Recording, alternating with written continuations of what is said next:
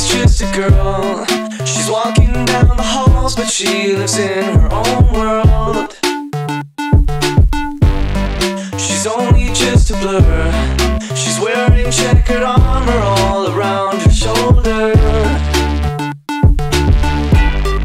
I asked